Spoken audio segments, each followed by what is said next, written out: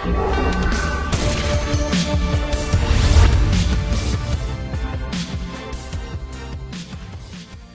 there, folks. This is Quinn. That's Snazzy iPhone Guy, and this is Mac Madness Monday, the creepy Steve Jobs Memorial Edition. Now, this is uh, probably one of the better Mac Madness Mondays I've done because it's one of the most interesting applications developed by one of the most amazing developers, Erica Sadun.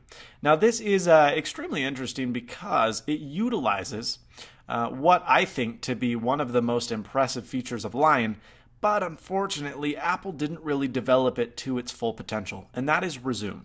Now, what Resume allows you to do, and as it being a part of the new Lion OS, it allows you to actually close an application, to quit an application altogether, and when you reopen the application, all of your windows and all of your previous sessions are restored. So, for example, let's say I was writing an email in Mail and rather than having to save a draft and remember where that draft was saved, I can just quit the application, and the next time I open mail, boom, I'm in the exact same spot I was before. The problem with Resume is there's a lot of applications that use Resume that I really don't want to use Resume, and unfortunately, Resume is only opt in or opt out by default.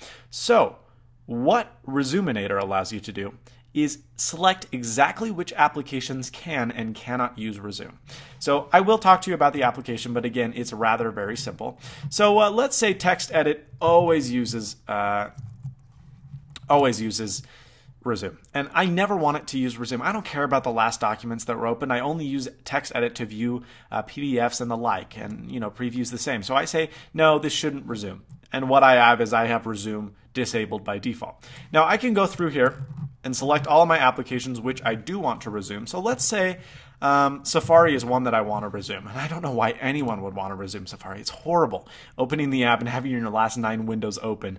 But let's say I wanted to resume Safari. So right now, if I go to safari.com, or excuse me, Safari the application, I go to google.com. Great, Google's loaded, but when I quit the application and reopen it, it goes back to my main page.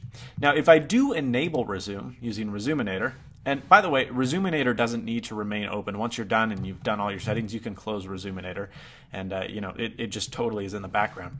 But uh, as you can see, it goes to my main page. Let's say I want Google.com, and let's do another tab just for kicks and giggles. Let's do Engadget.com. Okay, so we've got Engadget and Google loaded right here. Now what happens is I quit the application, and when I reopen it, up, oh, that session was restored and it's all thanks to Resuminator. But the good thing is, let's say preview and TextEdit and mail, which I don't want to be resumed, won't. They won't resume because you didn't tell Resuminator to resume them. So you go through here and you look at all your applications that you do and do not want to resume, and it's absolutely amazing. I think it's super well developed, it's fast, it's light, it's easy, and it gets the job done. I really, really like this application. Recommend it highly. Again, it's free, so why not try it out? Uh, it really allows you to take control of what I felt Lion had the most potential for, but unfortunately didn't quite follow through with. And so that is the review of Resuminator. I can't talk about it any more highly because it functions well, it's fast, it's light, it's easy, and most of all, it's free. Brought to you by a great developer. Thank you so much for watching. Please subscribe, rate, comment.